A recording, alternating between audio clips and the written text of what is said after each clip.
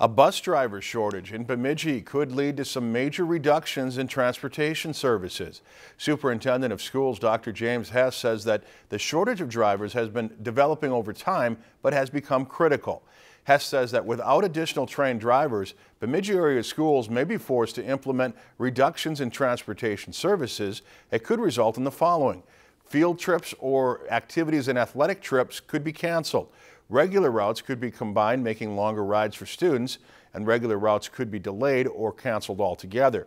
Hess says the district has been able to operate regular routes and some activity trips by using office staff, mechanics, and supervisors of transportation services as emergency drivers.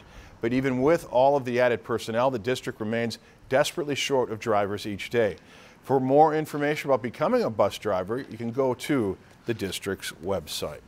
If you enjoyed this segment of Lakeland News, please consider making a tax-deductible contribution to Lakeland PBS.